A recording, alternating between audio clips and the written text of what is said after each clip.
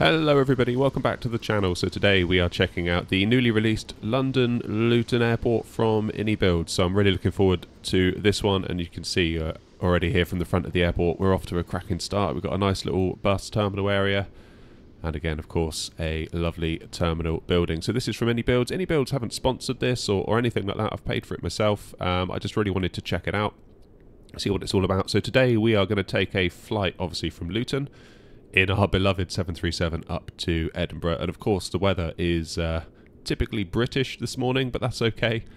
Um, might make for some interesting conditions into Edinburgh. I haven't actually checked the weather yet, so uh, maybe we'll uh, maybe we'll get some uh, lumps and bumps on the way in, but we'll uh, we'll have to see. And we've got a nicely modelled gate area. Nice to see the interiors are modelled. Very nice too. And again, I keep saying it, but for the longest time, I always used to say, why, why bother doing that? You're not going to be in the inside of the airport, you're going to be in the plane. It doesn't make any sense. And not for the first time. I was completely wrong because, of course, when you're pulling up to a gate, especially at night, you can see inside and it looks absolutely awesome. Yeah, just loads and loads of details everywhere you look. Looking really, really nice. Here's that EasyJet coming in now. That one's just landed. And there's us. Looking like the odd one out. So I think there's going to be a lot of EasyJet pilots that are going to frequent this airport. And it makes sense. Like, like I said, there's a, a big history of EasyJet at this airport. So it only makes sense. So we're at stand 9. Let's jump in the plane. Let's get things fired up. Let's see if we can get out of here without making a mess. Because I've never flown in Luton before. Um, looks like quite a simple airport, but you never know. I always manage to find it myself somewhere to make a mess of things and we'll see if we can get up to Edinburgh without any issue. Okay, let's kind of uh, just show you the situation this morning. So here we are at Luton. We've got ground online here, and we've also got uh, Stansted radar. So I guess we're going to be kind of dealing with that as we come out of Luton. Then as we head north up to Edinburgh Tower is currently online. So that's nice. Um, so we should get some pretty good coverage on this flight. That's going to be good. Hopefully, we won't make a mess. So what we'll do, we'll tune ground. Uh, ground are currently on, let me check, 121755. Okay, so I'm just about to call to get clearance to Edinburgh. Um, I'm hoping that we are going to be given the Olney two Bravo departure and we'll get our squawk and maybe initial climb. Uh, we'll see. So I'm going to call ahead now and get that. Luton Ground, good morning. Air 141, stand 9. Information Delta on board, aircraft type Boeing 737-800. Requesting clearance to Edinburgh, please. Air 141, Luton Go, very good morning. Chris Luton, Albany to Bravo departure, maintain 5,000 feet, squawk 5640. Olney 2 Bravo departure, squawk 5640, climb 5,000 feet. Air 141. Air 141, we back correct? Right, I'm going to go ahead and get the rest of the aircraft set up and then we will think about getting ourselves pushed and up to Edinburgh. Okay, so we're in a pretty good spot now with the plane. We're going to think about getting ready to do a push and a start. Just show you roughly what I'm expecting to hear when we ask for taxi. We're up here at stand number 9. We'll push back, I imagine, facing kind of southwest down onto Bravo. And just from kind of listening around to what other people have been told, they've been told to go Bravo, onto Alpha, hold Alpha 1, and then you can come out onto runway 25, and away we go. So that's what I'm expecting. Of course, it might be something different. Given where we are, we might be told to go Delta, then Alpha. That's always a possibility. Uh, we'll have to wait and see. Luton Ground, AirNOTT 141 at stand 9, requesting push and start.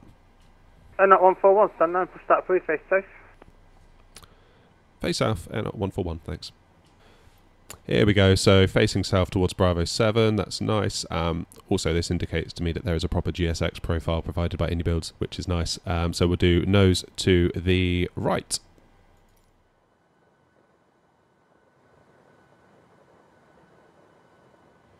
Okay, packs are off. AP bleeders on. Engine 2 is into ground, which means we should start getting some N2. Yes, we are. That's good. Uh, let's add some fuel to engine 2.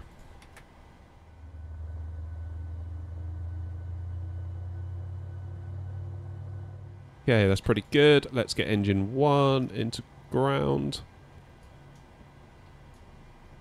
And again, we're just looking for that N2 figure to start rolling up. There it goes.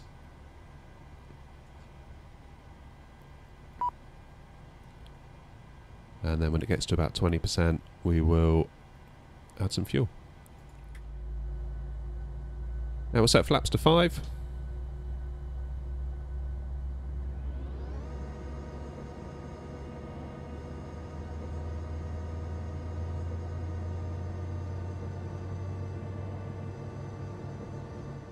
Jolly good. So, let's get flight directors on. We will arm LNAV, arm VNAV, arm auto throttle. Brakes into RTO, rejected takeoff. We've got two good engine starts. Let's tell GSX to go away in the nicest possible way. Pit to ground. Luton ground AirNOTT 141, ready for taxi. AirNOTT 141, taxi Unified Alpha 1 V Bravo Alpha. Alpha 1 via Bravo Alpha, AirNOTT 141. There we go, so that's as we thought. So, work our way back. Alpha 1 via Alpha, so along here. Then obviously up to Bravo. So a nice easy taxi, one that hopefully we won't mess up, but you know. And of course this is a very good time to make use of the Tobii eye tracker. Just gives you a little bit more situational awareness than looking straight ahead. And it's a much easier way to look around the place, see what's going on. Let's just check. We're doing the right thing here. Yep, so basically bear left onto Alpha. And there we are, there's the sign for Alpha.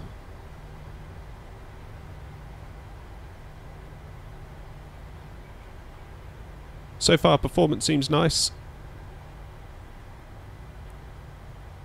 Far superior to the uh, the shambles that we had at Gatwick, the free version of Gatwick yesterday. I don't know what happened there.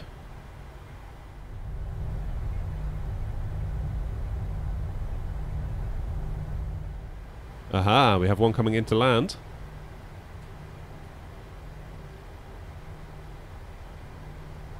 Jolly good. Now, is that going to be an AirNOTT easy jet? 141, contact uh, Stansted radar 120 decimal 65. 12065, sound, said radar, thanks very much. And a one for one. And contact 1 control 127 decimal 105. Oh, I messed that up, didn't I?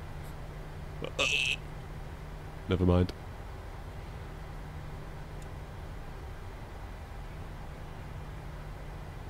AirNOTT 141, contact 1 control 127 decimal 105. Contact under control, N at 141, thanks. Ah. So it wasn't Stansted radar after all. Ah, what timing!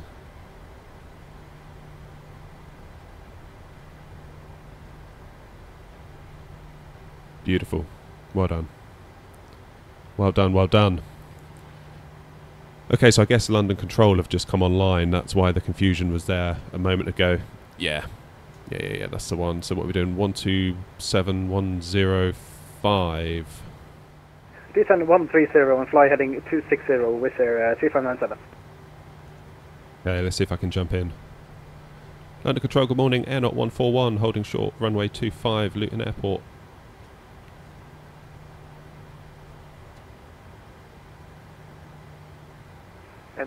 AirNOTT 141, line of control, hello, runway 25, clear for takeoff, wind 210 degrees, 8 knots. Clear for takeoff, runway 25, AirNOTT 141. Check for traffic. William Patrol, good morning. Shannon from to Charlie Hotel with you, 5000. Channel 20 Charlie Hotel, line of control, roger, climb now, flight level 190. Climb uh, flight level 190, Shannon from to Charlie Hotel.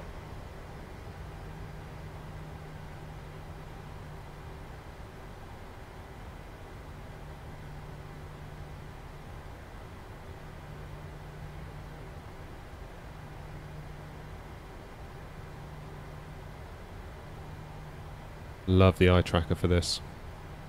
With air 3597, descend to flight level 80, expect ILS, runway 25. Descend flight level 80 and uh, I expect ILS uh, runway 25 uh, with air 3597. From today, Papa X-ray, fly heading 260 degrees. Okay, let's get ready to go. So a little bit of forward yoke pressure. Uh, was it for the Direct Dominic Papa Papa Extra? 260 degrees. Hold it on the brakes. Uh, fly heading 260 Dominic Papa Extra. Shuttle 7 Tango contact London 134.905. Thrust set. Shuttle 7 Tango contact London 134.905.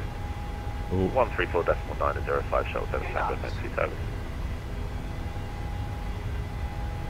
London, hello, it's Fly 1 Alpha. Fly 11 Alpha, hello, Listo 1 Charlie, arrival for London City.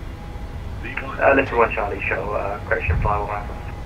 Tom to date, Papa X-ray, expect ILS approach, runway 25, descend flight level 110. Gear up. Uh, expect ILS approach 425 and descend flight level 110, EC. That's a bit bumpy. Take Papa Extra.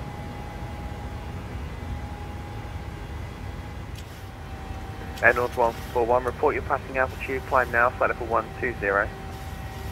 Flying 120, we're currently at 3,500 feet. Beautiful.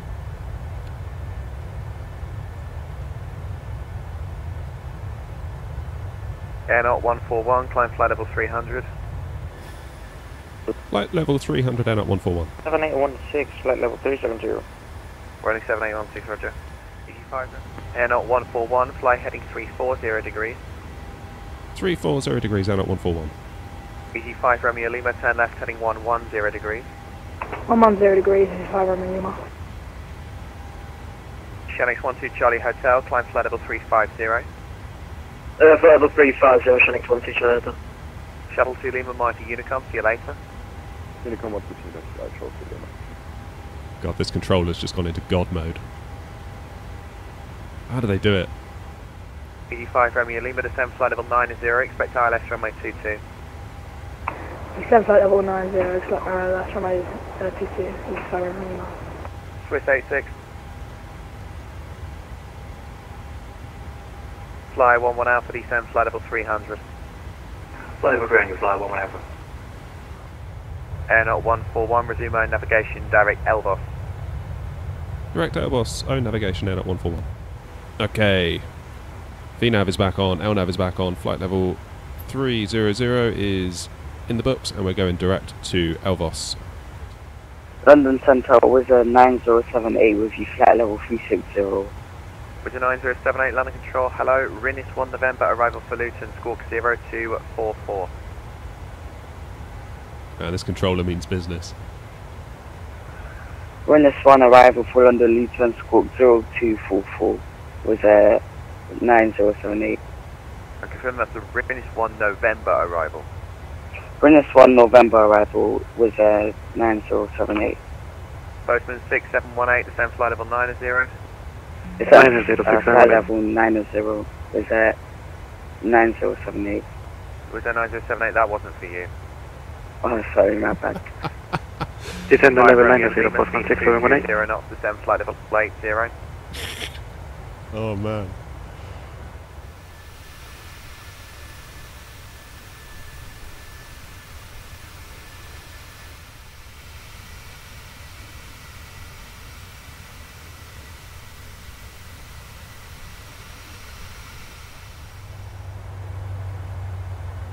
There it is. You hear the engines rolling back. So that's the plane now. We've just crossed the top of descent marker. Notice how we haven't touched a thing because we've been looking out the window. Just by rolling that altitude back to 7,000, when the time is right, the plane will do its own thing. Clever stuff. Might be an idea if I were to jump on to uh, the comms and just let people know what we're doing. Edinburgh traffic out at 141 at a bevy, descending for 7,000 feet for Tartan on the InPip 1 Echo arrival. Edinburgh traffic. So I've just input all of our information into the EFB here, and it defaulted to auto brakes two, uh, three, sorry. And I was curious to see what happened if I changed it to two. You can see here we're going to need every last inch of that runway. So if we go auto brakes three, and then calculate that again, much better. That's more like it. Let's go auto brakes three, I think, for today.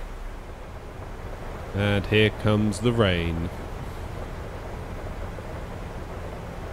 So we're descending down to Tart, and then we're going to vector ourselves out towards the uh, the ILS approach for runway 06, and yeah, if this is anything to go by, it could be a bit of a murky landing, so fingers crossed. Okay, let's tell the plane that we are going to go direct to CI06. You can see there it's drawn us a little line provisionally, which is where we're going to go when we're happy. We can execute that, and that becomes our flight plan. Turn our nav on, and the plane will fly us there. Again, we are turning. You just can't tell because all you can see is grey outside. Hopefully, we get some visibility as we come into land. So that plane is 10 miles ahead of us. Yeah, it should be fine. We'll let them go. There's enough of a gap. They're going to intercept and go ahead of us. Let's slow ourselves right down. Do speed 160. Yeah, I mean that's a little bit closer than I would have liked really with that plane in front, but I think we're going to be fine. We're, you know, they're a good seven and a half miles ahead of us. Hopefully they're going to now turn onto final. Yeah, I think going to speed 160 was probably the right call, just to give us a little bit more separation. Let me know what you think in the comments. It's always interesting situations like this. You kind of have to be a little bit flexible and look at what's in front of you and act accordingly. I mean, we don't have anything coming behind us, so I think speed 160 is fine, and if it extends the gap to the plane in front of us, so much the better. Yeah, let me know what you think. I want everyone's fingers and toes crossed for this, okay? 2500. Get down.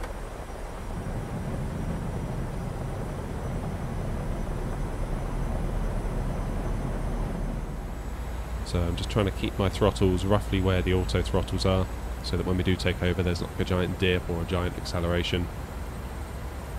There it is. My aircraft.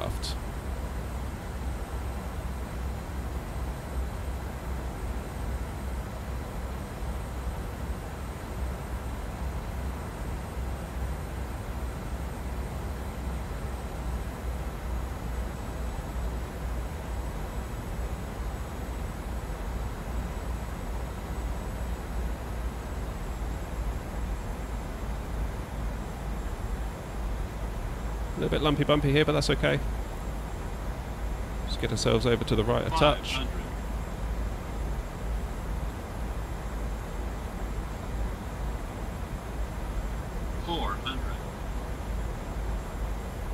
Just keeping that nose down.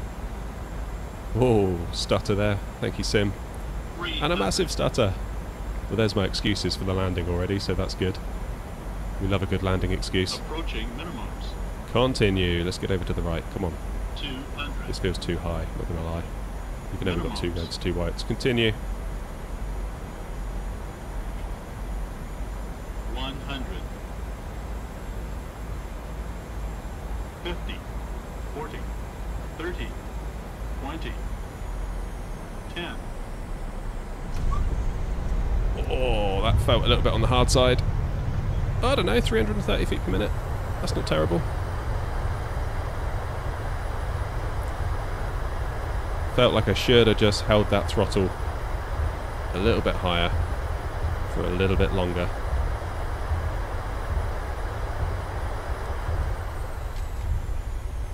Yeah, that wasn't the worst.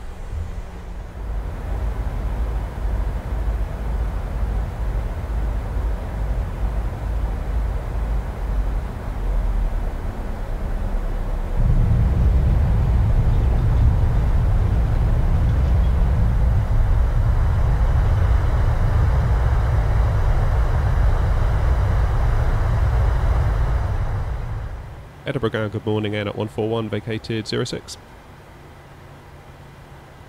AirNOTT 141, welcome to Edinburgh Taxi Stand 1 Alpha via Echo, uh, correction Alpha and Echo. 1 Alpha via Alpha and Echo, Air 141. All stations, Edinburgh Ground's now closing contact tower on 118.705, bye bye. is Echo. Okay, I don't think we're going to do that because we've got our taxi instructions. And we're basically done. So we'll be going in here to stand 1 Alpha. Is all the way at the end. Already here is 1 Alpha, so let's just slow ourselves down on the brakes a little bit. and make that turn in.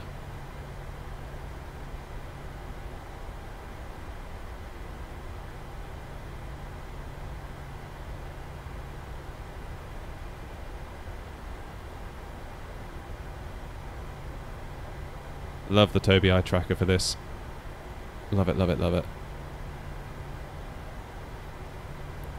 Okay. Let's see how much of a good parking job I can do. Can I get the nose up, nose wheel right on that line? I struggle. I struggle to do that quite a bit, so let's see if I can.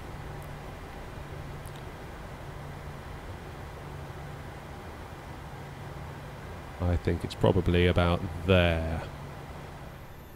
Oh, that was a fun flight. That again, the landing. I'm not sure it's one for the Hall of Fame, but it was a nice flight and uh, tricky conditions into Edinburgh, as it quite often is. The weather often plays tricks on you up here, so that's uh, that's always good fun. But what a cool flight! What a what a great effort from iniBuilds on Luton. That's definitely going to be one that I think we uh, throw into the rotations a little bit because uh, yeah, I think Luton's quite a cool airport. It's got a uh, a big history with EasyJet, so it'll be nice to fly some A320s in and out of there, especially with the Fenix. That's going to be really nice, and hopefully it's going to have more of a presence on VATSIM now that hopefully it will attract more more VATSIMers now that there's some really good scenery for it. So that's great for the sim, great for VATSIM, great for everybody. So uh, yeah, big thanks to iniBuilds for that contribution. Really, really nice uh, job they've done, and yeah, just everyone benefits. So it's, it's really good, really nice let me know. Do you want to see more videos like this? I did a poll recently, and I kind of asked, you know, what what it is you want to see from from me as a creator. Um, I gave you four options. I think I said, do you want kind of full flight highlights, much like this video? Do you want tutorials and how tos? Do you want news and updates about the sim, or do you want live streams? Now, I thought everybody was going to say live streams because those that I hear from the most quite often say, "When are you streaming? When are you streaming? Are we streaming? Yeah, let's do a stream."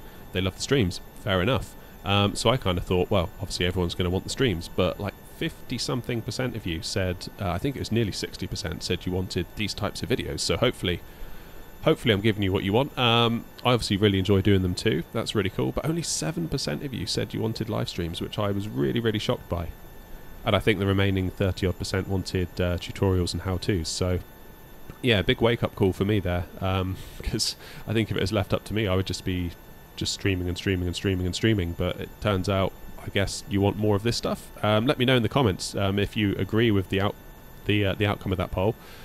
Um, always good to have more data on this stuff because I want to be making sure that I'm giving you know most of you what it is that you want. You know, pleasing the most people possible. Um, but yeah, let me know in the comments. I'd love to hear from you. Um, it's always interesting trying to figure out how best to do this to uh, yeah make sure that we're giving you all what you want. So thank you all very much for watching. I'm going to stop rambling. Take the very best care of yourselves, and I will see you on the next flight. Cheers.